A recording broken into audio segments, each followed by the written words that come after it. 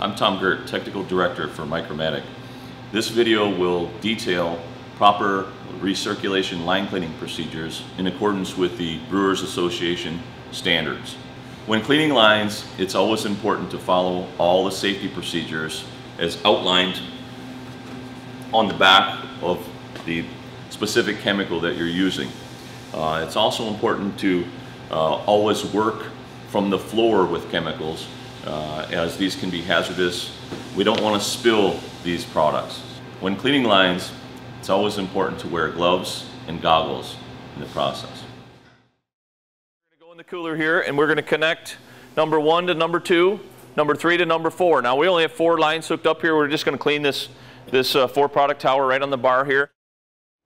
So we have, um, we talked about this on the inside and I'll keep jumping back and forth here, but these are the flushers that we had talked about in there and basically um, you can see that it looks like the top of a keg basically, except it's got a, a uh, check ball uh, lifter in there. We make a number of different flushers to accommodate, but not always. Okay, so if you have an oddball coupler that, that we, sorry, that we don't make a flusher for, we have what's called a hard coupler or duplex coupler, which is basically just hex nut threads. So what we would do is basically hook this on the hex nut to the next one. So instead of using this piece of gear. So either way, here, just because it's easier, I'm going to use the flushers just because we have them both. But in some cases, like for you guys, you have so many brands, you're not going to find flushers to accommodate all those couplers.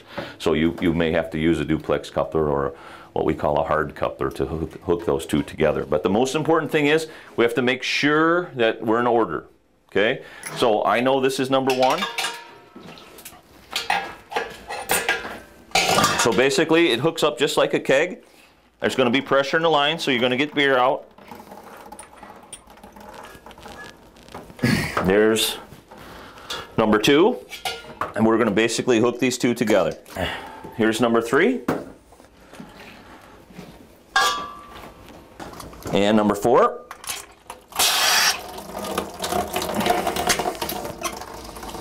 Okay, so typically what, what you should do is set those over a bucket just in case you have a leak. Then you can keep going to the bucket and making sure you're not, um, you're not overflowing the bucket. Second thing is, these are called fobs. Basically what they do is they stop the flow of beer when the keg goes empty. Okay, so in the cleaning process, we have to make sure that these are all in the bypass mode. So basically what we would do is lift the lever in order to keep these so we can go in either direction. So what we'll end up doing is we're, we're actually going to be coming down number one, going through our flusher, and coming back up number two. So we somehow have to be able to keep this off the seat so it doesn't stop the flow. So we're going to put all of these in the bypass mode, so, or the cleaning mode, okay? So if you're in a store that has a long run and you have fobs present, these are a huge money saver, but we have to make sure in the cleaning process that we bypass these. Okay. The other thing we have to make sure of when we start the cleaning process, when chemical starts to pass through the system, we have to come in here and bleed these full of chemical because these drains get really gunked up on here. So we actually have to put chemical through the drain in order to keep this from uh, getting plugged up or clogged up. So that's really the process in here. That's it hook number one to number two, number three to number four, number five to number six, number seven to number eight, number nine to number 10. That's it. Takes literally a couple seconds to hook up in here. Okay, so this is a machine. This is the big machine. This is what we call the 300 plus, which means it can clean 300 plus feet of tubing. We've had some of these go, this can usually go up to 900, 1,000 feet uh, and still give us a gallon a minute depending on, on what we have. So this is the big machine. It doesn't come with a cord purposely because again, we never know where in your accounts where the electricity is going to be. So you only have to buy one extension cord. Like with my guys, we clean so many different accounts. If the furthest plug away is 20 feet, we buy one 20 foot extension cord and we use that all the time. So basically here we know our, our power is close by.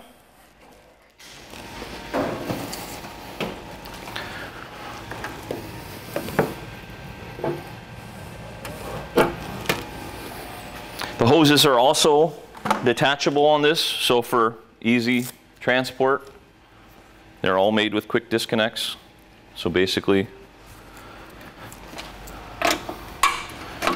Why are the lines so long in here? I mean, it seems like. Just, there's a huge misconception in our business that if you get over 20 or 30 feet, it can't work properly. Oh, all right. So you guys are like. We dispelled that rumor quick. Anytime during class, anybody can come in here and pour perfect beer. We keep all these hooked up during class so people can see that, you know. So again, we have a suction side, which you can tell the difference, really super fine screen, so we don't suck up any of the crap we're taking out of the lines. We're going to use these, uh, these sinks here as our, instead of buckets. First thing we're going to do is just get the wa- uh, water running. We're just going to use cold water to flush out.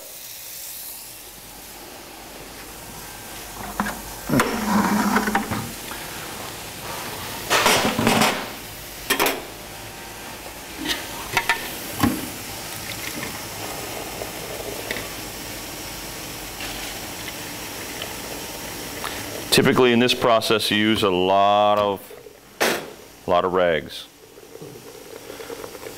There's a box full of those right back there. If somebody grabbed that for me, I'd appreciate it. now, does it matter for cold water or hot water? It does matter. You don't ever want to get over 100 degrees in a beer system. The reason for that is some of the tubings, especially our tubing, um, it's made out of a space-age material called nylon 11, and it's very sensitive to heat. You can actually ruin the tube by putting hot water through it.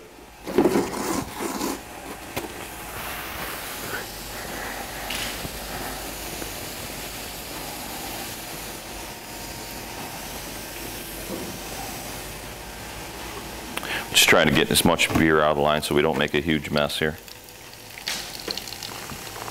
The reason why we have so much coming out is because all that tubing coming down the wall there.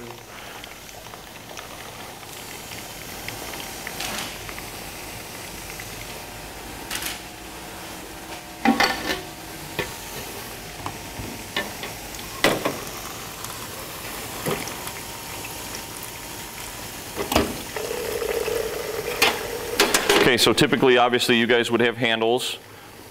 What, what you would normally do is, is line up these handles on the bar in the right order so that you never screw up, you know, your order.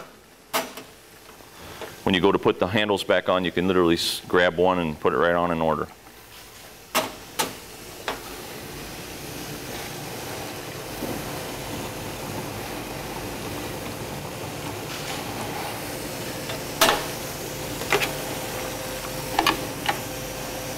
Okay, so we're going to take the faucets off here.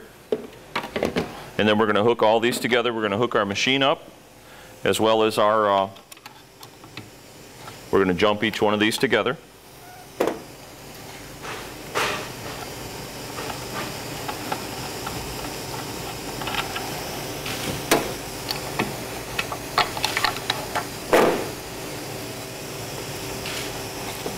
Don't want to overflow my sink over there.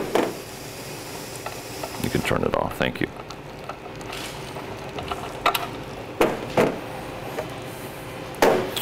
Those are the opposite, right? It's righty loosey and lefty tighty.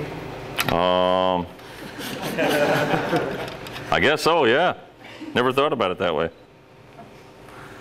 Um, these are the little jumper lines that we talked about. So they basically just take the place, they look like the back end of a faucet. So we're going to jump number two and three together in your case, depending on how many faucets you have. Could be a number of them that you're jumping together. Like I say, typically the good rule of thumb is around 10 is the max, but if you have a short run, you can maybe do more.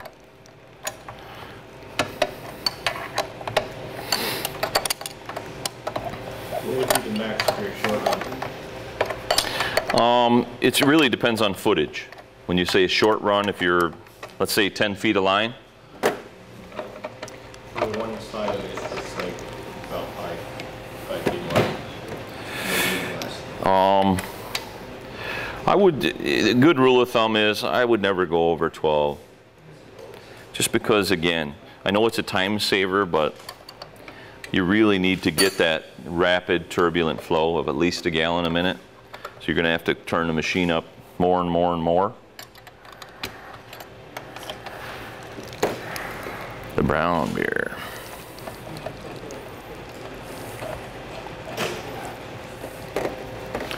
Okay, we have one hose that's a longer hose that we'll use for our drain.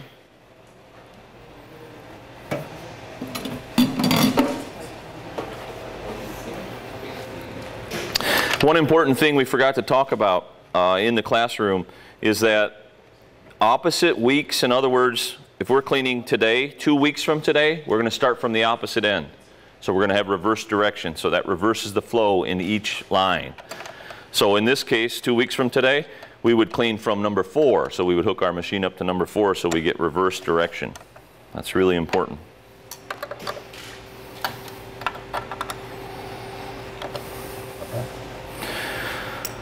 Okay.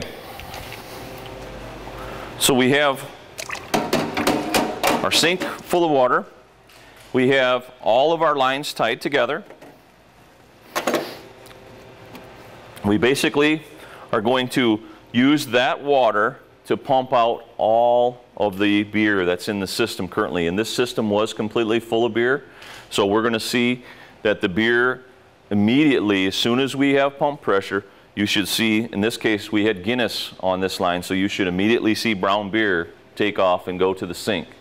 And what we're going to try to do is we're going to try to adjust the flow so that we can get kind of somewhere around that gallon a minute flow rate coming out of this hose. So it, it, may take, you know, a little while for you to get used to how much flow that is or whatever. So, get this going here.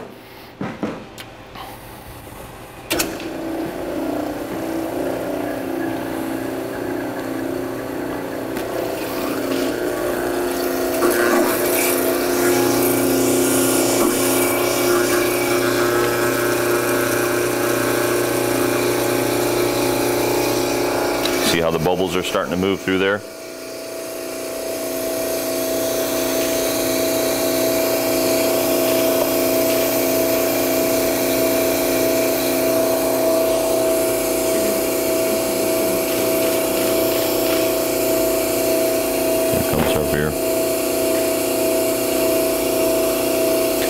So you can see we're starting to get some uh, water flow into the drain.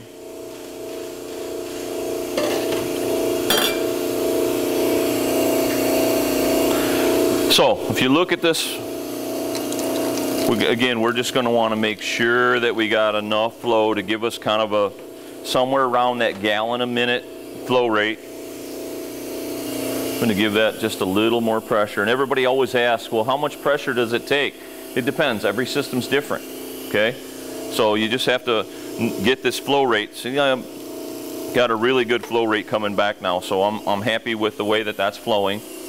So basically now what we would do is just wait until we have all the beer pumped out, which could take, again, in a short draw situation like you were speaking of, it literally could take two minutes to push all that beer out. But in this case, we have a very long run here, so it'll take us a while to push this out. Now, you can kind of see, it kind of looks like almost like foam going through there, bubbles. So that's the way you're going to see, as soon as this gets water, it'll just turn to clear water, and then you'll be able to see really easy when when we have all the uh, beer out of the lines.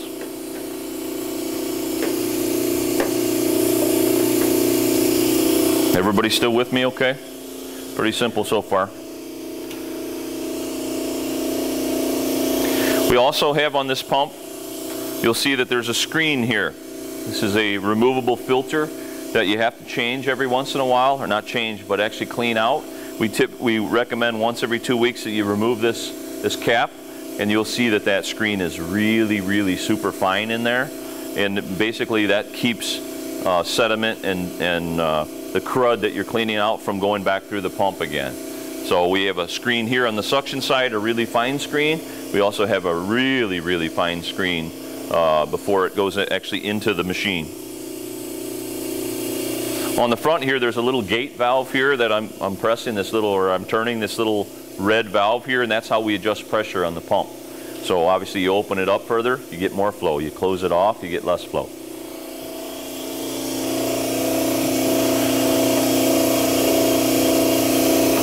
We got lots of flow.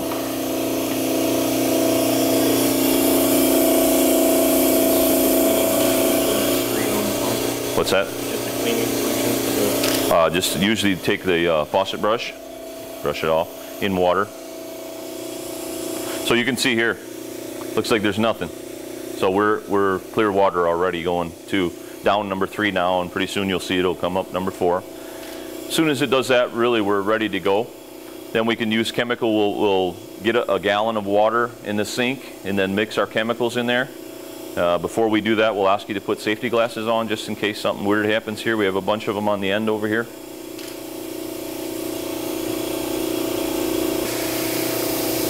We're getting close. You can see there's very little foam coming through here. So we're getting close to uh, being 100% clear.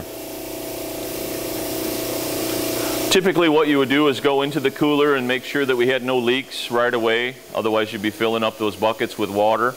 Um, there you can see now we don't have any beer left in the line. So basically we're ready to go to step number two. Okay. So now we have to make sure we have a gallon of water in our sink. Okay, so as I mentioned in there, uh, the tops of these are actually measuring cups. And if we put, um, I have approximately a gallon of water in this sink right now. So again, as I mentioned in there, um, one gallon of water, one cupful would be 1% solution or 1% caustic in solution. Two caps full would be 2% caustic in solution and three capfuls would be 3%. Now typically what I instruct everybody to do is work from the floor with this. Okay, so once you open this, pour it, put everything on the floor because we've had several instances where people will knock the bottle onto the floor and it sprays all over. Um, as I said before, this stuff is very hazardous, but as long as you get rid of it quick, it's not a big deal. So you just wash it off, whatever area you get it on your skin, or if it's on the floor, get rid of it quick, because if you leave it, it's going to cause, uh, on your skin especially, it will burn you um, pretty dramatically. So I always tell people just to work off the floor with the stuff. So, and you'll see when I pour this here, it, it's really pretty blue. So it's a really good shade of blue. So again, we can see the chemical in the, in the solution. So, and you always want to dump the chemical into the water, not vice versa. You got a much bigger chance of splashing out if you're dumping a large volume into a small volume. So you always want to work with the chemical into the water, never the other way. So there's two capfuls, that'd be 2%. Three capfuls would be 3%. Quickly put the cap back on this.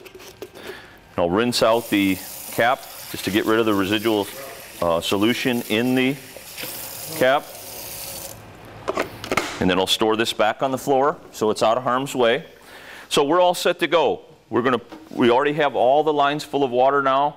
Um, once we get this solution working through the system, what we're gonna do is go back to the cooler and then bleed our, make sure our fobs are bled full and then also put a little bit of of uh, chemical out the drain mechanism on those fobs. So we'll fire this back up, get her pumping again. Make sure we have a return, which we do. Now we're going to take that return and put it into the same sink as we're taking from. So basically, we're going to start diluting the chemical, but we want that first loop that goes through to be 100% chemical.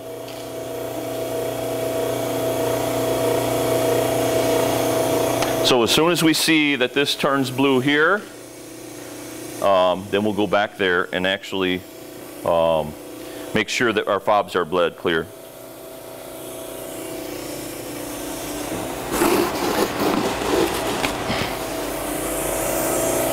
Look, just like in just like in real life, I made a mess. Yeah, that never happens.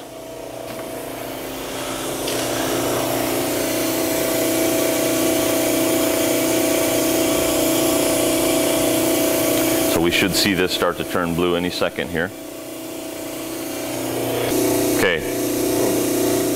See how we're blue there? You can really see it here. It's hard with with uh, the blue gloves, but you can see how we have blue solution. So we're gonna go back to the cooler and make sure that our, uh, our fobs are, are bled full of solution and then also we get some in the drain.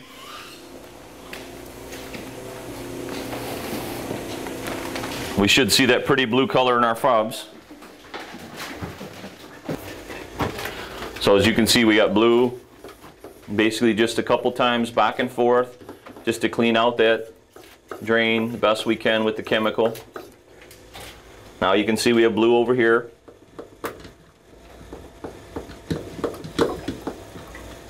That basically is accumulated in a reservoir. And then once the line cleaning is done, we would actually drain that reservoir, obviously, because we don't want that hazardous chemical sitting around anywhere. So we have blue over here now as well, so same thing.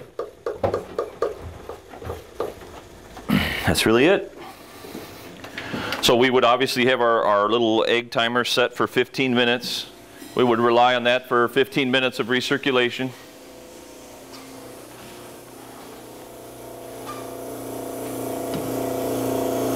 You can see we got some blue coming back now. You can actually see it going into the water in here. If you guys can get up here close by, you see that blue going into the water?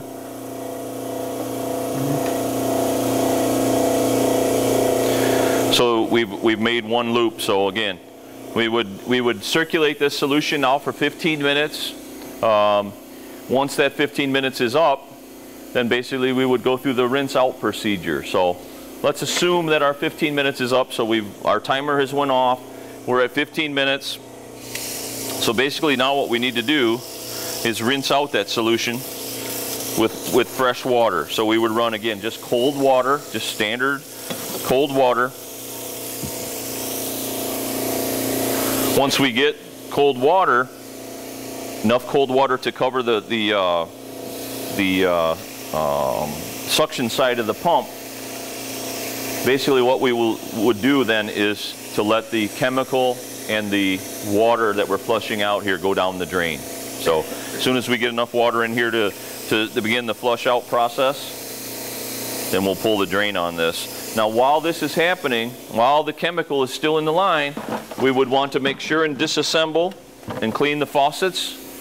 So while they're in the solution now, we would take these all apart, make sure that we brush clean them out completely. Also, you notice there's two brushes there. So we have a different size brush for the um, vent hole that's in the front of these faucets or in the bottom of the faucets, a typical standard American faucet.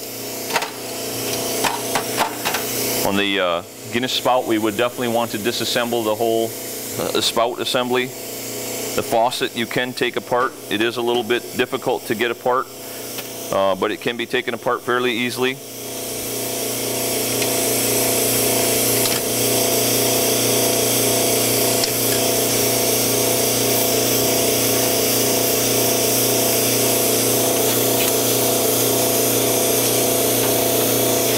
This is good for you guys to see here. Take a look at that uh, that screen on that faucet. Can you all see that that buildup that's on that screen? That's the stuff we're trying to get rid of. See how, see how brown that is? Yeah. It's completely disassembled. Again, brush clean. Make sure you kind of hold these in the in the sink so that it doesn't spray all over you. You don't want to get chemical on you. Again, safety glasses and uh, definitely uh, gloves. So once the faucets are clean, just goes in rinse water.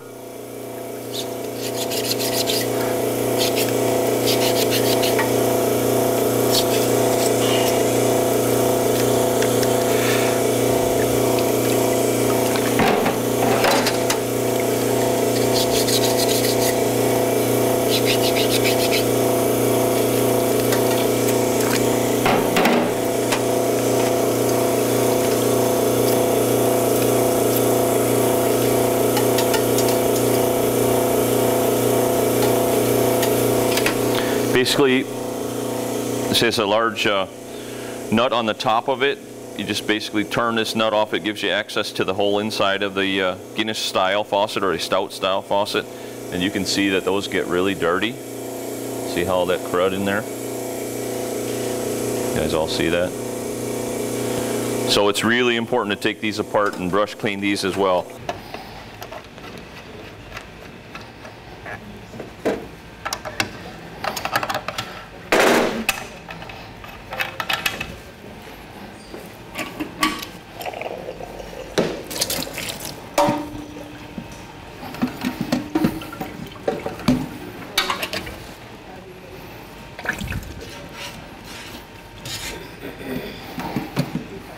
somebody wants to help out here, you can basically just unscrew this and show everybody that little fine filter that's in the bottom of that. Unscrew this. Yep. I see that, yeah, you can pull that right out of there. Pull this out. And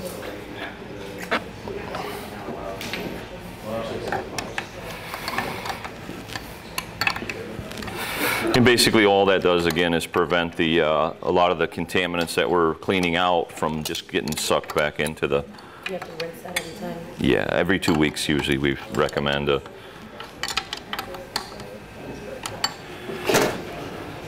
Okay, our, our faucet knobs were in order on the bar, so we can basically just put these all right back on.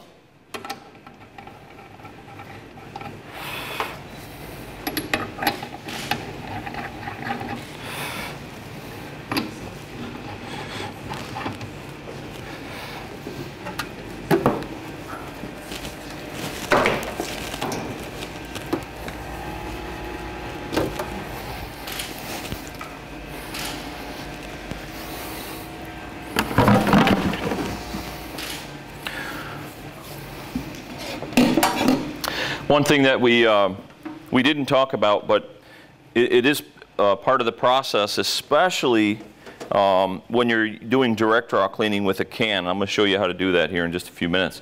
But we have a um, pH strips that you would test to make sure that you're pH neutral. In other words, before you put beer back in, you could test the water to make sure that it is strictly water and no chemical is present. Or you can buy a fancy pH meter uh, that does it electronically. Basically, so you're looking pH neutral, which water is somewhere in the seven to seven and a half, depending on how hard the water is. Different areas of the country, the pH is, is different, but it's usually about seven to seven and a half would be pH neutral. And obviously that's very important. You don't want to expose your customer to chemical. Um, and that's one of the reasons why this process is, is preferred. Again, if we recirculate for 15 minutes and we rinse for 15 minutes, there's no way we can leave chemical in the line. So, uh, but an extra added precaution, especially if you're doing can cleaning, would be to make sure you're pH neutral before you put beer back in the line. Super important. Okay, so I think we're good to go. All of our faucets are closed. We're going to go back, hook up beer, bleed our fobs full. Should be good to go. So basically, we're just going to pull the uh, water out or rinse the water out, push the water out with beer. Typically, again, you would do this with buckets. You know, you just have little two gallon buckets. That's typically what most people use. And I just know from experience that this, this line holds roughly uh, about one pitcher worth of beer as long as this line is. It's really small diameter line. So you're going to see towards the end of this, you'll start to see beer come through.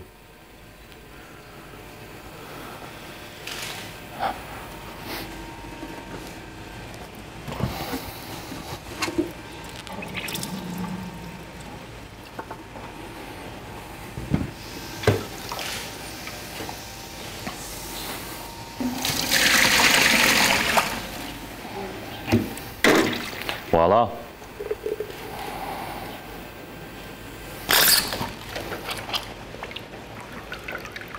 Take one.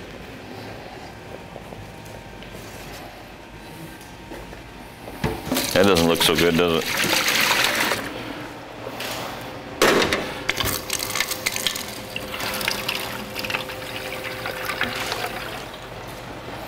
So basically you just pour off small amount of beer until you get beer back in the lines and then obviously it would straighten out.